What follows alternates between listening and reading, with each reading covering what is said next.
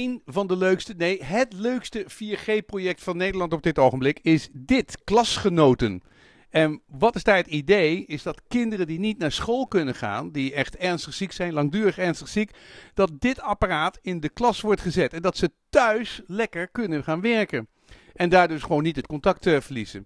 En dat is een, uh, een um, sociaal sustainability project, hè, van een maatschappelijk betrokken project van KPN. Ed, jij bent daar programmamanager. Hoeveel van die apparaten staan er op het ogenblik in Nederland? Op dit moment staan er 200 die uh, allemaal ingezet zijn. En er komen er uh, volgende maand 100 bij en midden in de zomer nog eens 400. Dus we willen dit jaar minimaal 700 van deze apparaten hebben ingezet. En hoeveel van dat soort kinderen die thuis ziek zijn, die echt gewoon in de klas willen zitten, zijn er eigenlijk in Nederland? Nou, we schatten in, uh, we, we, doen dit samen met een maatschappelijke partner, een uh, organisatie van zorgconsulenten. En die hebben ingeschat dat het zo rond de 1250 kinderen in Nederland zijn die in aanmerking zouden komen voor een dergelijk apparaat. Okay. Wat moet je nou doen om zo'n apparaat, dit is gewoon standaard van de plank spul, wat je gewoon standaard implementeert en standaard neerzet? Ja, nou, het, het, allemaal, het is in ieder geval wel gebaseerd allemaal op standaard technologie. Uh, we hebben wel vanuit KPM wat een en ander voor ontwikkeld. Uh, maar op zich, de apparaten zoals ze zijn, uh, die worden voor ons geproduceerd op basis van allerlei standaard technologie. ja, wat zit er nu in? Maar, want, nee, maar dit is wel een custom-made apparaat. Dat heb je echt helemaal gewoon, ook de vormgeving vind ik erg mooi. Een geweldige dikke camera erop en zo, die, die eruit ziet alsof je gewoon de maan heel dichtbij kunt halen. Ja. Maar uh, dit is toch echt helemaal custom made voor dit project? Ja, wij hebben inderdaad een aantal partijen gevraagd in Nederland van, nou, deze functionele spe specificaties hebben we voor jullie. Hij mag niet te zwaar zijn, hij weegt maar 8 kilo, want hij moet verplaatsbaar zijn op een middelbare school. Dus kinderen moeten hem kunnen sjouwen, hij moet robuust zijn, hij moet snel kunnen opstarten. Al die specificaties hebben we aan uh, partijen gevraagd en daar is één partij gekomen. Wie is dat? Wie doet dat nu? Uh, dit doet Intemo, een bedrijf in Helmond, Brabant.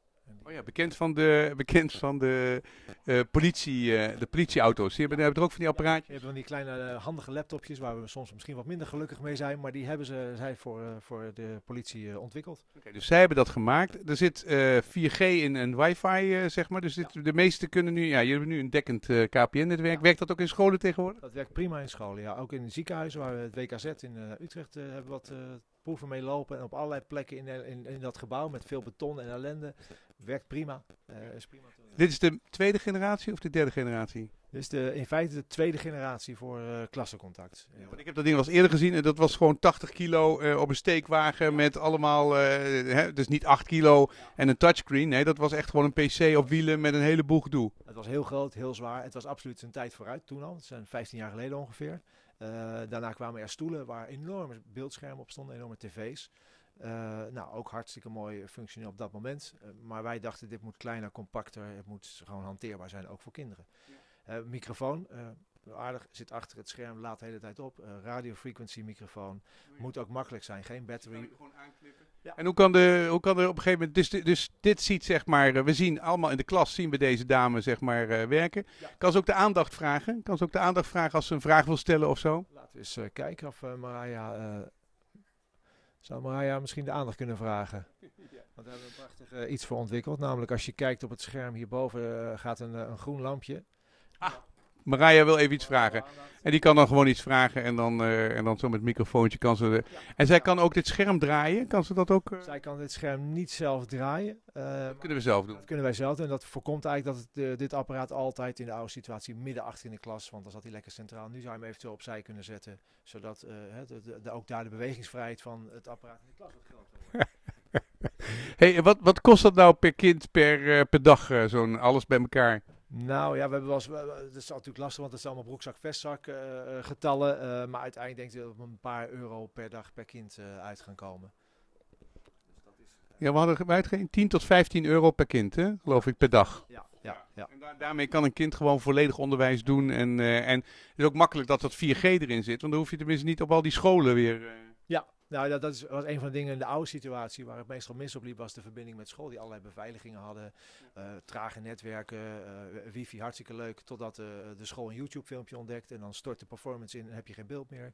Allemaal dingen die we wilden voorkomen met die 4G-jongens, met onze landelijke dekking, kunnen we hem eigenlijk overal op dit moment inzetten. Wat moet je doen om binnen KPN zoiets te gaan doen? Want jullie hadden vroeger tien verschillende dingen, dus, maar jullie zijn het nu grootschalig aan het aanpakken. Hè? Dus ja. honderden kinderen in plaats van tientallen kinderen en ja. straks dus bijna meer dan duizend kinderen. Wat moet je doen om dat binnen KPN te organiseren? Want je hebt een heleboel techniek in huis. Van wat hebben jullie er zelf aan gedaan? De, de, hardware specs heb je zelf gemaakt, die is door iemand anders gemaakt. Hoe is de software tot stand gekomen? Software hebben we ook uh, intern uh, ontwikkeld. Uh, software met name ook voor de camerabesturing, die we gewoon als een heel belangrijk onderdeel zien. Het zit een hele goede camera op, maar die moet ook bestuurbaar zijn voor het kind. Dat hebben we apart ontwikkeld voor die kinderen. de aanvraag van een, van een dergelijk apparaat loopt via onze maatschappelijk partner. KPN zal nooit beslissen, jij wel, jij niet. Jouw kind wel, jouw kind niet. Dat is die maatschappelijke partner? Dat zijn de zorgconsulenten die eigenlijk verenigd zijn in een uh, organisatie die heet Adventure, ED Venture. Mm -hmm. En uh, zij maken eigenlijk die keuzes. Okay. Zieke, zieke kinderen. Dus jullie, uh, jullie, betalen alles, jullie regelen alles, maar de anderen bepalen wie het krijgt en hoe lang ze het krijgen en dat soort dingen. Ja, en voor de rest schakelen we bijvoorbeeld installatie eigenlijk onze eigen monteurs in. voor het transport eigen bedrijf. Nou, kortom, zoveel mogelijk echt KPN die die hele keten verzorgt. Ja. Wat voor spin-out, uh, spin-off? Want op zich, dit is nu duizenden, dit is nu zeg maar uh, een heel veel videoconferencing via 4G. Dus ik, ik, je krijgt er ook ervaring mee. Heb je dan ook nog uh, commerciële spin-off? Of dat dit leidt tot inspiratie bij bedrijven die zeggen van we moeten er ook eens mee doen, iets mee doen? Nou, we hebben in ieder geval geïnteresseerde onderwijsinstellingen die zoiets hebben van hé, hey, als wij leerlingen op afstand hebben en die willen we eigenlijk wel wat meer kunnen monitoren tijdens lessen of tijdens presentaties. Ja, dan is dit toch iets meer dan een FaceTime verbinding of een Skype verbinding. Omdat je gewoon met die camera veel meer kan. Het is allemaal stabieler, het is veiliger. Uh, dus, dus, daar is grote belangstelling voor uit die wereld. Dus uh, ja, de, de, onderwijswereld, ook de zorgwereld, waarin kinderen natuurlijk wat wij ook doen. Kinderen zijn langdurig bijvoorbeeld in het ziekenhuis. Ja, in hoeverre kun je dan contact houden met elkaar? Want dat blijft wel overigens onze basisdoelstelling met klassencontact. Het contact met de kinderen onderhouden. En daarbij uiteraard is het mooi dat ze ook het onderwijs blijven volgen. Was het dan moeilijk om al het geld bij elkaar te krijgen binnen KPM? Want dat uh, kost me een bak met uh, centen, ja, dit. Kost een paar centen, ja. Jullie hebben hier, jullie zijn met vier mensen zijn eigenlijk fulltime bezig. En dan al die hardware en al die software en al die toestanden van... Uh, wat, wat is dat een potje of zo van maatschappelijk ondernemen? Of is dit gewoon een project wat geadopteerd is door de board? Nou, eigenlijk beide. Het is uh, zeker ook geadopteerd door de board. Het is uh, de stichting uh, Mooiste Contactfonds. Daar vallen eigenlijk alle maatschappelijk verantwoorde ondernemingen van KPN in. En daar is gezegd, nou, daar gaan we een speerpunt maken. Dat is klassencontact, dus het budget wat we daarvoor nodig hebben. En dat is denk ik een verviervoudiging van wat we ooit eraan gedaan hebben. dat gaan we daarvoor vrijmaken. Vinden we gewoon zo belangrijk dat we ook echt dat goed willen, willen doen. Het is ook echt iets wat bij KPN past. Het heeft natuurlijk alle kanten raakvlakken met onze normale dienstverlening. Dank je. Oké. Okay. Gijs Odijk is de implementatiemanager. Die heeft dus die eerste 200 uh, geplaatst. En ik ben even benieuwd van wat de resultaten zijn. Uh, als je kijkt, de kids, gebruiken die dit ding? Hoe lang blijft dat zeg maar uh, iets interessants wat ze elke dag aanzetten? Ja. Nou, het leuke is dat we zeg maar bij de eerste 50 plaatsen ongeveer zijn wij met, met, met ons team ook zelf mee geweest naar de plaatsingen toe. Dus dan hebben we zelf kunnen ervaren hoe blij kinderen ook worden als die set er eenmaal, eenmaal staat, zeg maar. Dus, het begin is natuurlijk een fantastische gadget en hartstikke leuk, maar na een maand uh, zetten ze dat ding nog aan. Ja, het leuke is dat kinderen, zeg maar, uh, het is natuurlijk afhankelijk van of een kind fit genoeg is om lessen te gaan volgen, zo, maar... Ja, er zijn ernstig zieke kinderen, vaak met kanker, die, uh, die, die ook voor pampers liggen als ze weer een behandeling hebben. Ja, en je kan je voorstellen dat je als kind bijvoorbeeld met een kaal hoofdje, dat je niet in beeld wil komen. Daar zijn ook opties voor, dat we bijvoorbeeld het beeld uit kunnen zetten. Dus dan kunnen kinderen wel, zeg maar, anonieme soorten lessen volgen. Dus, maar wat we in ieder geval weten is dat kinderen, zodra ze fit genoeg zijn, altijd lessen willen volgen ook. Omdat ze in contact willen blijven ook met hun klasgenootjes, zeg maar. En uh, ook de lessen willen volgen. Dus. Het ding wordt altijd gebruikt als de kinderen maar uh, fit genoeg zijn. Hoe stabiel is het nou? Van als je nu er iets inzet, van uh, hoe, hoe groot is de kans dat het dan ook werkt en dat het ook blijft werken? Uh, nou, ten opzichte van de sets die we zeg maar eerst hadden, merken we dat gewoon uh, dat de... Voor deze, voordat deze box, toen die grotere dozen waren, zeg maar, met, uh, van 80 kilo. Ja. Nou, we merken eigenlijk dat bijvoorbeeld de afgelopen maand, dat hebben we heel veel plaatsing gehad en 95% daarvan werkt gewoon in één keer heel erg goed, zeg maar. Dus dat is heel erg fijn, want je wil ook als je ergens... Ja, want 4G zit er altijd in, het is eigenlijk gewoon uit de doos en je hoeft eigenlijk niks meer, je hoeft eigenlijk bijna niks meer te doen. Nee, je voert een wachtwoord in en een gebruikersnaam en dan werkt je eigenlijk. En dat is fijn, want je wil ook als je ergens komt, een kind rekent er ook op dat, dat de set gaat uh, werken samen. Dus je wil sowieso dat die werkend achter uh, blijft. Ja, en ook als ze hem gewoon vervoeren door de klas heen of naar andere plassen, dan, dan werkt dat ding. Je stikt stekker er weer in en hij ja. doet het gewoon. Ja, je voert zeg maar, de monteur die uh, komt de eerste keer, die voert eenmalig een wachtwoord en een gebruikersnaam in. En vanaf dat moment kun je hem eigenlijk door de hele school heen, als je zodra je hem aanzet, dan meldt hij zichzelf weer aan. Dus dat zo wat rapporteren kinderen zelf? Uh, gaat het ook met onderwijs? Blijven ze ook bij in de klas? Want dat is natuurlijk uiteindelijk, behalve het sociale contact, wat heel belangrijk is, is het ook heel belangrijk dat het ook echt gewoon, dat ze, dat ze niet te veel achterop laken. Ja, ja dat klopt. Dat is, uh, maar uh, in principe is het een secundair belang dat de kinderen de les kunnen blijven volgen. Maar primair willen we het liefst dat de kinderen in contact blijven met hun vrienden. Nou, dat gaat wel lukken met zo'n ding. Dat is wel dat is een super, luxe, dat is een super luxe videoapparaat. Maar inderdaad, het educatieve, zeg maar, eh, volgens de klas ook een beetje. Eh, nou, we hebben ook wel eens gehoord dat kinderen zeg maar te ver acht, acht, a- achterop raken, zeg maar eigenlijk. Omdat ze dan niet altijd lessen kunnen volgen. Dus als je een paar lessen mist, dan lig je natuurlijk al weer een beetje achter. Eh, maar er zijn ook zat gevallen waarbij kinderen hun diploma bijvoorbeeld gewoon halen met een dank aan een set. Ja. Dus ja, er kunnen ook hele toffe dingen uit eh, voortkomen.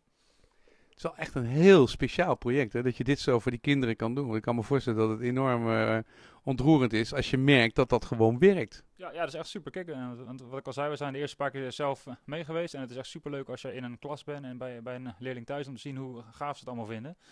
En ook eh, de monteurs die wij zelf zeg maar, hebben ingezet, die- daar horen we ook heel vaak van dat die het super tof vinden om te doen. Die zijn echt trots ook gewoon dat ze dit, dit te werk kunnen. Hoeveel monteurs doen het hier, eh, in- installeren dit? Eh, we zijn op 1 oktober begonnen met 25 en we merken nu dat we steeds meer plaatsing krijgen. Dus we hebben weer 15 nieuwe monteurs erbij die, die zichzelf ook hebben aangemeld van ik wil dit ook graag gaan doen. Dus inmiddels hebben we er 40. En je, in 4G is nu overal, zeg maar. Eh, hoe is de snelheid van 4G als je dat kijkt? eh, in zo'n school, binnen in zo'n school? Eh, ja, over het algemeen is het heel erg goed. Ehm, wat we merken is dat zeg maar, schoolnetwerken niet altijd goed zijn. En dan eh, raden we ook de monteurs aan om de 4G zeg maar, aan te zetten op de set. En dan merk je gewoon dat het heel vaak heel goed werkt meteen. Het is gewoon super snel. En jullie zijn nu ook overal, hè? Het is echt... Ja. eh, Ja, dat is helemaal tof. Dat echt, elke school kan die ook aan natuurlijk. Nou, dit is het mooiste 4G-project volgens mij van Nederland op dit ogenblik. En het werkt overal en het is hartstikke nuttig. Oh, nog even als je ziet, wat, wat ziet zo'n kind nou aan de andere kant? Dat is ook wel aardig. Hier zie je dus, zeg maar, een eh, schermpje. En het kind kan dus ook gewoon, eh, zeg maar, hier inzoomen. Hier hebben we onze cameraman die echt gewoon eh, hartstikke goed bezig is. ook lid van het projectteam. En ik kan hier op deze knop drukken. Bam. En dan gaat dit lampje boem, die gaat dan. Dan kan ik een vraag stellen en zo. Dat is hartstikke handig. Dus, en de camera is zo goed dat je dus inderdaad echt gewoon iemand, iemand in de ogen kan kijken. En dat je ook kan gewoon kijken van, hup. Je kunt echt op afstand kun je fantastisch mensen zien en eh, heel goed eh, inzoomen op, eh, op alle situatie. Dus ja, ik vind het ook wel heel knap dat ze gewoon iets smakelijk, ziet er leuk uit, ziet er mooi, een mooi apparaat, ziet er goed uit. En de videoconferencing via 4G is goed. Dus ik hoop dat hier ook veel commerciële toepassingen uitkomen uit deze ervaring. Want ik vind klas, klasgenoot vind ik super. Waar, waar- welke website moeten ze kijken? We hebben een website, dus www.kpnklassencontact.nl. www.kpnklascontact.nl Dus niet klasgenoot, maar klascontact. Het hele initiatief heet KPN Klassencontact. Dus dat is website. Alright.